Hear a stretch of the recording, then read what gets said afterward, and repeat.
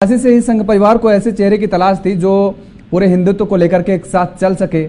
सवर्ण का वो चेहरा भी ना हो, क्योंकि अक्सर ये टैग लगा रहता था भारतीय जनता पार्टी पर कि यह ब्राह्मणों और बनियाओं की पार्टी है।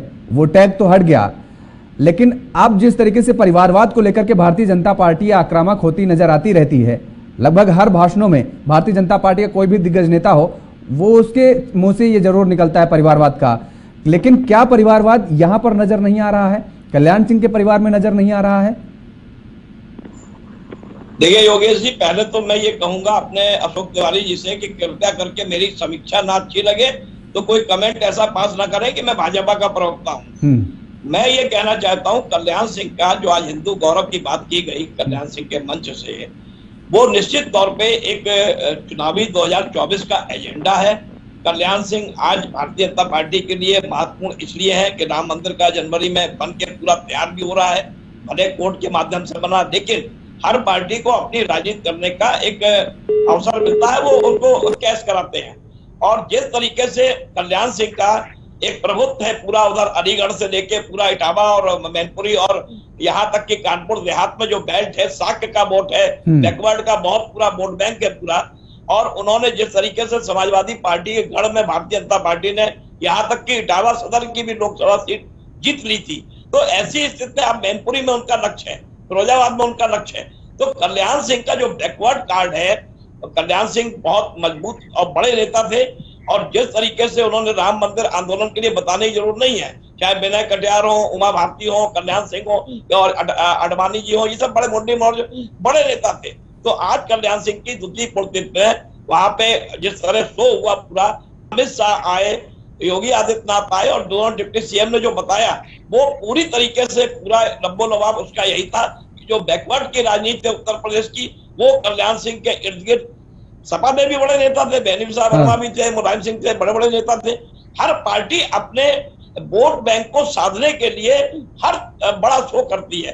तो आज जो ये शो था श्रद्धांजलि सभा का वो भारतीय जनता पार्टी के नीति और रीति से भाई उनको अपना टारगेट फिक्स करना अपना और फिर राजनीति करने वो भी आए हैं। हाँ। मैं समाजवादी पार्टी के प्रवक्ता से ये पूछना चाहता हूँ कि बार बार कानून व्यवस्था बार बार कानून व्यवस्था मैं ये पूछता हूँ आपने अगर सब कुछ किया था आपने अभी तक अपने परसेप्शन को बदला है? आपकी पार्टी ने अपने परसेप्शन को चेंज किया है? आपके ऊपर जो एक दाग लगा है आपके ऊपर जो ठप्पा लगा है परसेप्शन का वो परस, आप भी तो अ, हिंदू गौरव दिवस मना सकते हैं।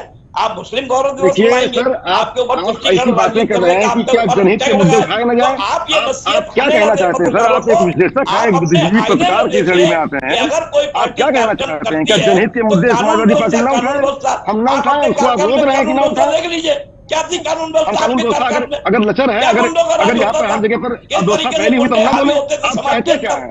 आपका क्या इंटेंशन है? मैंने अकेले आपको नहीं कहा खाली आपको नहीं बैठाइए भाजपा की हालत आज देखो सारे चैनलों पर देख लीजिए कहाँ कहाँ से कितने कितने लोग आते हैं। अरे भाई सबको कहा था किसी का नहीं भाजपा मैंने बताया कि अशोक जी दरअसल अशोक जी आज वो नेरेटिव जी को ठीक है। आ रहे हैं प्रभात त्रिपाठी जी के जो सवाल है वो वो उसका जवाब हम आपसे लेंगे लेकिन शायद अभी त्रिपाठी जी को आप नहीं जानते होंगे या तो मुझे लगता जानते होंगे तो जान करके भी ऐसे कमेंट कर रहे हैं आप ठीक है। आप समाजवादी पार्टी को टारगेट कर रहे हैं एक तरह से। नहीं नहीं भाई? वो सामान्य वो समीक्षा कर रहे हैं वो समीक्षा कर रहे हैं। वो उन्होंने उन्होंने उनका लंबा कैरियर है पत्रकारिता का। यूपी में उन्होंने बड़े बड़े नेताओं को उन्होंने कवर किया है। बड़े आपके मुलायम सिंह के को भी उन्होंने कवर किया है कल्याण सिंह जी को भी उन्होंने कवर किया है। तो वो समीक्षा कर रहे हैं उन्होंने बड़ी नजदीकी से राजनीति यूपी की राजनीति को देख रहा है। वो आ रहे हैं आपके पास। आप आप ठीक है। प्रभात जी लेकिन क्या ये माना जाए कि आज की ये पुण्यतिथि के दौरान जी ये हुंकार भरी गई? ये हुंकार आज शुरुआत कर दी गई यूपी में। अब यहीं से अगले जनसभाओं में भी राम मंदिर का मुद्दा अब चलता रहेगा। कल्याण सिंह जी का नाम अब लिया जाएगा बीजेपी की तरफ़ से। लगातार इन सारे मुद्दों को भुनाना भुनाया जाएगा। निश्चित तौर पर देखिए कल्याण सिंह मैंने कहा ना कि कल्याण सिंह का नाम बीच में कल्याण सिंह हाशिए में चले गए थे भारतीय जनता पार्टी ने उनको भुला दिया था। हम्म। लेकिन आज कल्याण सिंह की उपयोगिता उनको इसलिए सामने रखने की भारतीय जनता पार्टी को दिखाई दे रही है कि चारों तरफ़ से पेशबंदी। देखिए पार्टी जब चुनाव मैदान पे जाती है और फिर भाजपा तो ट्वेंटी फोर बाई सेवन चुनाव मोड में रहती है वो कोई ऐसी चीज़ें छोड़ना नहीं चाहती है जो समाज में चारों तरफ़ उसके ना आए। राम मंदिर एक बड़ा मुद्दा था बड़ा मुद्दा है बड़ा मुद्दा रहेगा हम्म। हिंदुओं के लिए हिंदू की आस्था के लिए। और ये कोई इसको राजनीतिक मुद्दा हर समय बना दिया जाता है। अब देखिए जब चुनाव होगा 2024 के मंच सजेंगे तो वहाँ बात डेवलपमेंट की नहीं होगी। हम्म। बात घूम फिर के फिर हिंदू मुसलमान में चली जाएगी अब कौन क्या करेगा?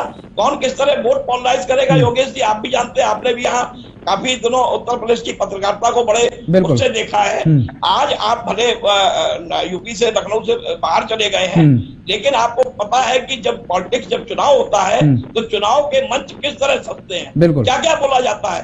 दोनों तरफ़ से बोला जाता है। अगर एक पार्टी ना बोलती हो एक बात बोलती हो तो मैं कहूँ मैं समाजवादी पार्टी हो चाहे बहुजन अभी बहुजन समाज पार्टी आएगी कांग्रेस भी आएगी सब अपनी अपनी बात रखेंगे। लेकिन मुझे ऐसा लगता है कि कल्याण सिंह को एक नायक के रूप में प्रस्तुत किया प्रस्तुत जाएगा करने की कोशिश की जाएगी और उनकी स्मृतियों को एक बार फिर से जनता के बीच में प्रस्तुत